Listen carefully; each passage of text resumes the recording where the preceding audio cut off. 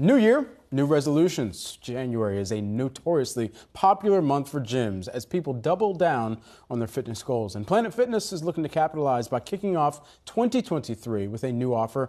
Dollar down, $10 a month through January 12th here. Here with us this morning, we've got Planet Fitness CEO Chris Rondeau joining us now. Chris, always a pleasure to see you. Of course, many people probably see the brand over the course of the New Year's Eve celebrations, and then things get real once people start to get back in the gym. So, what type of uptick versus years past are you anticipating or are you forecasting for this year? Yeah, thanks for having me on, Brad. Brad, this is great. You know, this is uh, it's hard to believe this industry has. This will be the first uninterrupted first quarter in four years, believe it or not. Knock on wood, right?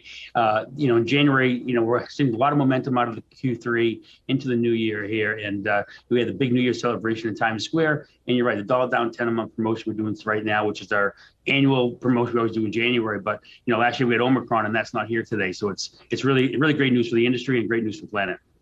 Hey, Chris, it's Julie here. So, uh, if we go back to pre COVID times and look at usual patterns, what does the attrition rate tend to be? I always wonder about that in terms of January signups and then who sticks around. Yeah, it's a good question. So, you know, as you probably recall, Planet Fitness, we cater to casual first time gym goers, and almost 40% of our joints have never belonged to a gym in their entire life. So, really their first, their first venture into fitness.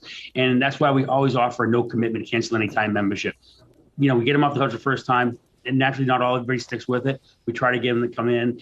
The beauty of it is, we get you off the couch the first time, Julie, you'll always come back your second time to Planet. So, you know, it's really we don't really watch it that much the first year. We just want to put everybody into the gym. Hopefully, they're comfortable. If they fall off the wagon, we hear when they're ready to come back.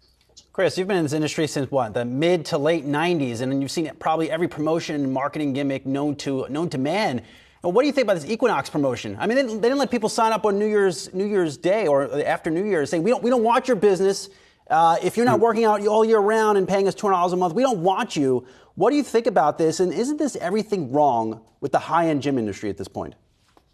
You know, honestly, Brian, that's a lot of reason why Planet Fitness got into this industry to begin with. It's a judgment-free zone, is what we call ourselves, right? And you know, regardless of what your why is and the reason you want to get off the couch, whether it's January first, July first, you know, you're doing it for your kids, you're doing it because you want to feel better, have more energy. You know, we don't judge. So yeah, I, I saw that, but you know, that's not us.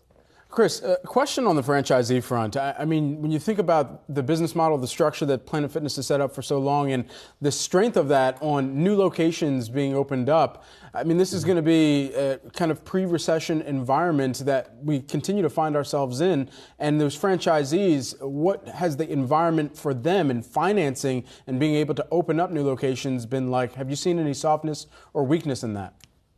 Yeah, we're starting to get a lot of momentum now. You know, we did see some slowdown naturally during COVID, um, but luckily our franchisees are extremely strong. Most of them have been in our system since day one, and uh, we only have about 120 franchisees that make up the 2,000 plus stores. So they're all multi-store operators and very well capitalized and very sophisticated. So you know, the financing side of things is not really that much of an issue for us. More of it's just supply chain. And believe it or not, out of all things that have slowed us down a little bit was air conditioning, finding that for the units. Um, equipment's coming through fine. The flooring's coming through fine.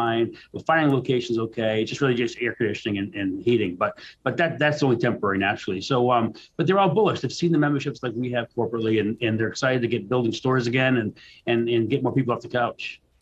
Chris, have you changed any kind of expansion plans for this year given the economic slowdown that is expected?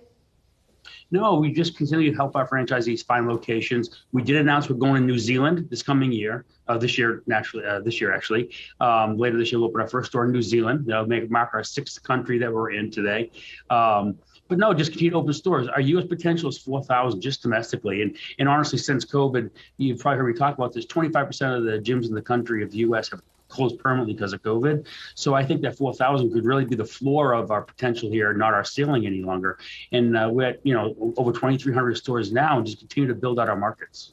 The street is really banking on uh, Planet Fitness making a, a, really big international push. You just mentioned New Zealand, Chris. What is the international potential, and what other markets will you hit this year and next year? Yeah, we were always doing like a country a year, Brian. I think uh, going forward, future plans is probably we try to do two or three a year um, on top of what we have open today. Um, we've looked at Asia and we've also looked overseas here in Europe. So, so uh, we're very get very careful and methodical about where we go next. We don't want to do just ten countries out of the blue and open one store each. We really want to find the right partner in each place and have a right plan and just start building these things out. We'll leave it there. Planet Fitness CEO Chris Rondeau, always good to see you. And I should note it's back day for me uh, as well later on. Chris, good to see you. Happy New Year.